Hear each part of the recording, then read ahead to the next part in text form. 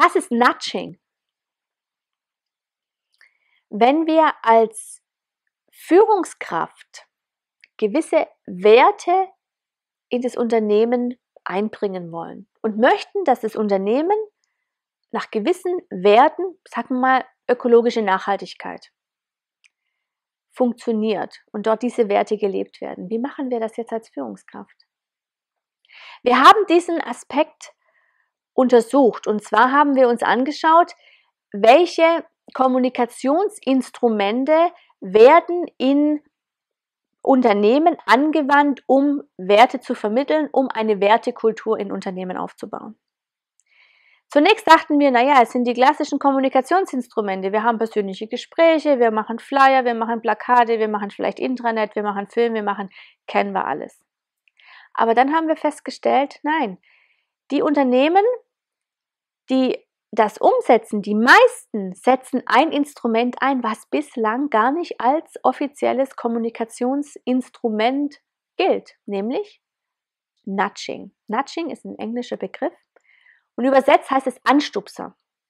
Man könnte auch so sagen, welche Impulse gibt ein Unternehmen, was andere Mitarbeiter zum Beispiel zum Nachahmen anregt. Also zum Beispiel, wenn ich jetzt eine Betriebskantine habe und in dieser Betriebskantine koche ich nur ausschließlich mit Lebensmitteln aus der Region, gibt es auch bekannt, nur regionale Anbieter und koche ausschließlich nur vegetarisch, weil ich selber jetzt der Meinung bin, es muss regional sein und es muss vegetarisch sein.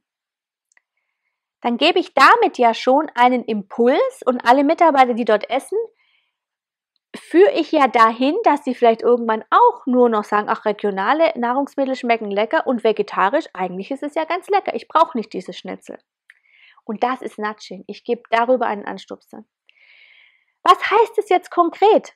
wenn ich jetzt eine Wertekultur in, ein Unterne in einem Unternehmen implementieren möchte, aufbauen möchte, braucht es Führungskräfte, die die Werte vorleben.